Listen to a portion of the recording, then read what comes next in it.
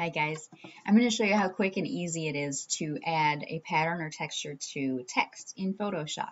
So open up your Photoshop and start with a new document. Make sure that it is transparent. And of course, you know it's transparent by the checkered background. On the left side, select your text tool. Type out your text. And then you're going to want to just open up the folder that you have your pattern or texture in. And then all you need to do is drag and drop it right into Photoshop.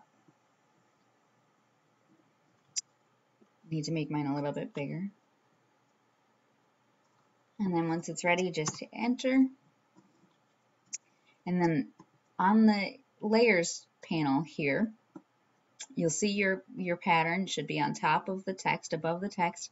All you need to do is right click on the texture, select create clipping mask, and that's it. Um, if you wanted to, like if it's too, see it's a little bright over here, you can, you can select the move tool and as long as you have this, this layer still selected here, you can just move your pattern around. You can make it bigger by resizing here.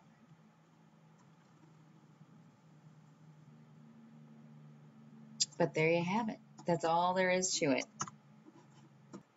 If you want to get a better picture of what it looks like, because it's hard to see on the transparent background, you can just add a new layer, drag it to the bottom, and then fill it with white.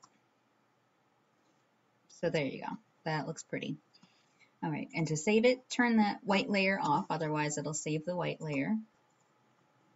And go to export, and you can do a quick export as PNG or do the export as. I still like the save for web legacy, um, but just save it, and then you're done. You'll have you'll have your pattern text on a transparent background.